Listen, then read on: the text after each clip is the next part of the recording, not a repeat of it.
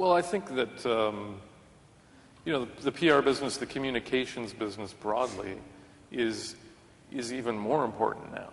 Um, I think there's particularly online, you know, what I was saying about the, the process and how sped up it is and how it's 24 7, the more help you can get from anyone in producing that story, in adding value to that story, um, the better off you're going to be. And if that, if the person who provides that help for you is a PR person, that's then so much the better. Um, and I know we were talking before about, um, you know, adding value to things like a press release. If, in the same way, journalists have had to change their jobs um, and think about their jobs as a process.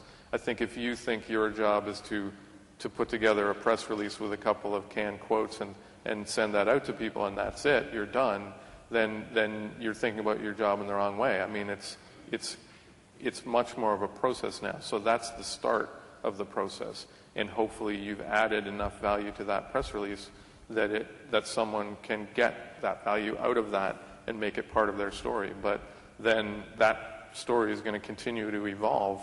They're going to call you, they're going to email you, they're going to DM you on Twitter. They're, you're going to see comments um, on the story, or you're going to see comments on Twitter. You're going to want to change something, add to something, correct something.